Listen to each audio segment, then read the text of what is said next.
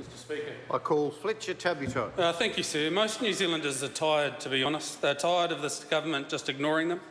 They're tired of the simplistic and dishonest spin campaigns that suggest to oppose the TPP is to oppose trade. This is not even called a trade deal. They are tired and they resent this government for not listening, just like that minister over there. They are tired and they want to be heard. They wanted to be consulted, in fact. The public were not engaged with, they were not consulted with or listened to. Instead, they were told extensively and repeatedly that the consultation process was the most prolific and robust in the country's history. And yet, despite the great spin from the government, the stark and frightening reality is that just about every submitter noted the lack of consultation, and that was the true reality. Of the situation we are in today. Did I mention they were tired, Mr Bridges?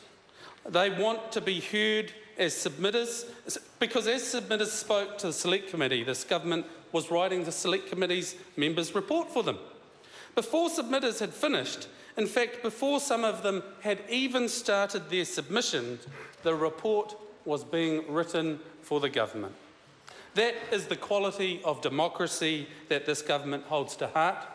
No wonder they have no qualms signing our democracy away, sir. They hold no value in it. How can they be given democracy and sovereignty away if it's already gone? Apparently, in their world, their little quasi dictatorship, you don't need to listen to the people, yeah. but you do need to be seen to be going through the motions of listening to the people. You've got to have hearings across the country, but write down what the majority of submitters actually said in their submissions. Apparently, that's just way out of line for this government. It's not necessary for the report to actually reflect the submitters' collective wisdom well, thank you, the National Party. As to the enabling legislation, let's be honest, this is perfectly good legislation if the intent of this government is to sail us up the river. Actually, we do know that now. That is the, exactly the intent of this Prime Minister. And every other MP sitting on the other side of this House, sitting there like adoring sycophants, nodding their bobble heads, saying, trade, trade is good, They've bought into the rhetoric from the 1%, make the top incredibly wealthy, and somehow everyone else will benefit from this. It just doesn't work that way, sir. I wanted to take this opportunity to educate Mr Bridges and other members on the other side of the House on the consolidation of corporate welfare and entitlement. It's a huge problem in the US right now. And given those entitled corporates Given those entitled corporates wrote the trade agreement that we're debating now, at least 605 of them anyway, I think it will be hard to argue that their very simple intent is to expand that entitlement around the world and here into New Zealand. Because right now their profits are not as good outside their borders as they are inside it.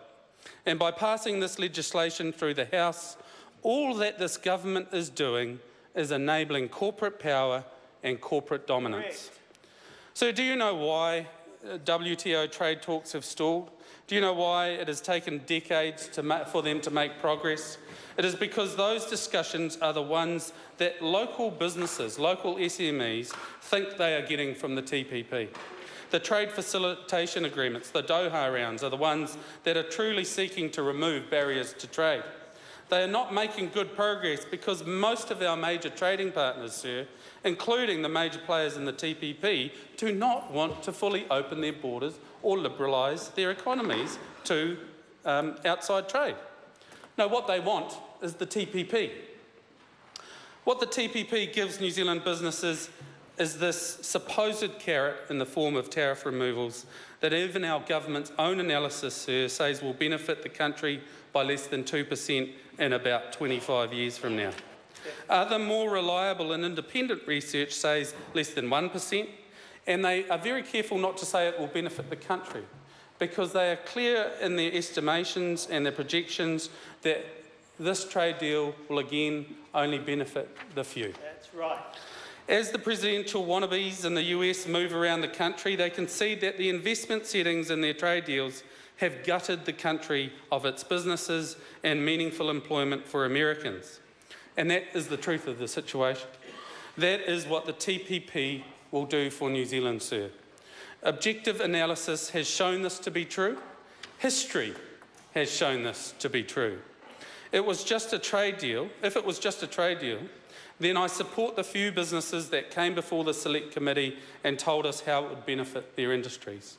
I believe them and I agreed with them. Tiny, but a good start. That would be true in isolation. So I thank those submitters who came before us to tell us how good tariff reductions are. No argument from me and no argument from New Zealand First on that. But it is the role of this government, and most certainly today, the role of the opposition to advocate and act in the best interest of all New Zealanders, sir. All New Zealanders.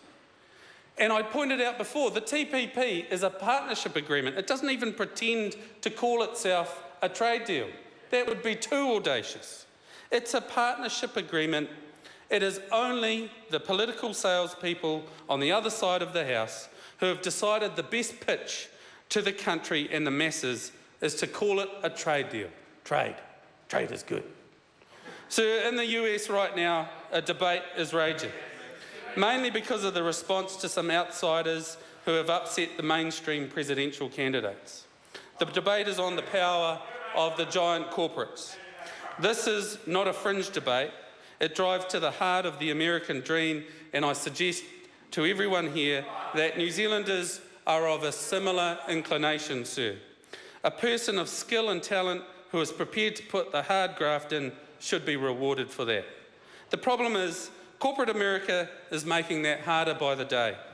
They are shutting out competition, stifling innovation, and building moats around the their own companies. This is what the intent of the TPP is. Not to enable big New Zealand to be uh, business to do the same here, but for international corporates to export their entrenchment, their entitlement, their privilege around the world and into New Zealand. So I end with several quotes. I quote, the ability of big firms to influence and navigate an ever-expanding rule book may explain why the rate of small company creation in America is close to its lowest mark since the 1970s. This is what we're signing up to. This is not the New Zealand we know, nor is it the New Zealand we want. We are a country of small businesses, of entrepreneurs, of battlers. In the 1990s, Adventurers from around the world piled into America with the share of output from foreign-owned subsidiaries rising steadily. But since 2003, foreign firms contributing to the US economy have been flat at about 6% of private business output. So I don't expect huge gains for New Zealand businesses in the US economy. They may be reducing their tariffs by 1 to 2%, and I'm not understating the case. They have their moats built around them and they have their government subsidies to protect them. And we all know this is true for Japan and Canada too.